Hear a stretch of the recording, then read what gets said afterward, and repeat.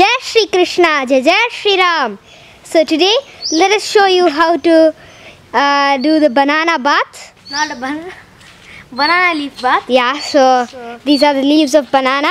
First, we have to uh, spread uh, four, four to five ropes on the ground, and then we have to lay the banana leaves, and then make the person sleep on top of the banana First I leaves. have to drink some water, put a wet cloth on my head and then sleep on it.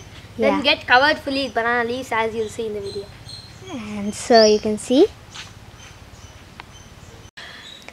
So now you can see that he has drank water and just put a wet towel on top of the head. And look like a buffoon. Lie down.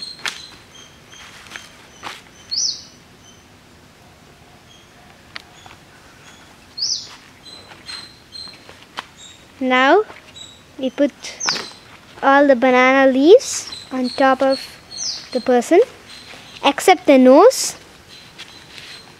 We tie all the places.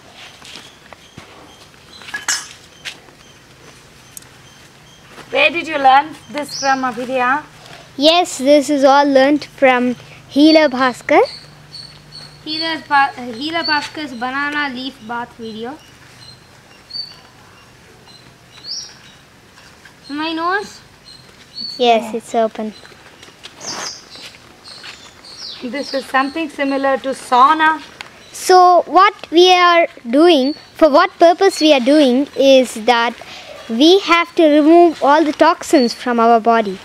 So, and uh, these leaves have, uh, you know, lot of green compounds which uh, uh, which absorb sunlight very fast and remove uh, toxins. Therefore, we have optimum vitamin D uh, absorption in our skin, and the toxins present in our body also get out along with the sweat into the leaf, and the leaf becomes extremely poisonous.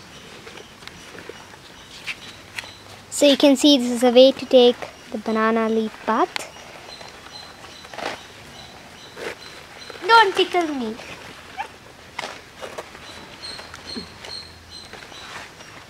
So now we're tying it everywhere. These are torn ones. Actually, you should have a better one.